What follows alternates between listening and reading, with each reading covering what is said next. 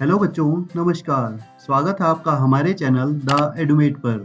बच्चों, आज इस वीडियो में हम करेंगे कक्षा तीसरी की परिवेश अध्ययन की पुस्तिका झरोखा से पाठ नंबर 18 रंग बिरंगी मेरी पोशाक के महत्वपूर्ण बहुविकल्पीय प्रश्न। तो आइए देखें, प्रश्न नंबर एक, हरियाणा में पुरुषों की वेशभूषा मानी जाती है किरण, धोती कुर्ता, कोट पैंट या शेरवानी। बच्चों, हरियाणा के पुरुषों की वेशभूषा धोती कुर्ता है।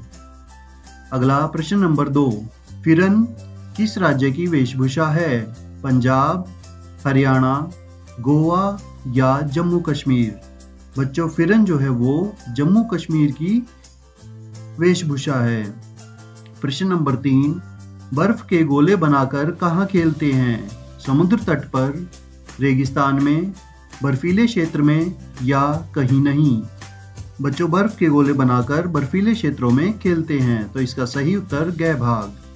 अगला है प्रश्न नंबर चार, ऊन हमें किस से प्राप्त होती है? भेड़, गधा, घोड़ा या बंदर? बच्चों, ऊन हमें भेड़ से प्राप्त होती है। अगला है प्रश्न नंबर पाँच, रेशम कहाँ से प्राप्त होता है? कपास से, पशुओं से, कोकून से या पक्षियों से? और इसका सही उत्तर है गै कोकून से। रेशम हमें कोकून से प्राप्त होता है। प्रश्न नंबर छः कपड़े सीलने वाले को क्या कहते हैं? लोहार बढ़ई हलवाई या दर्जी?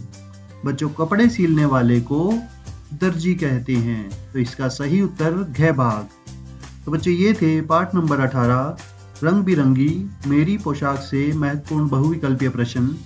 सभी बच्चे इन प्रश्नों को रिवाइज करें।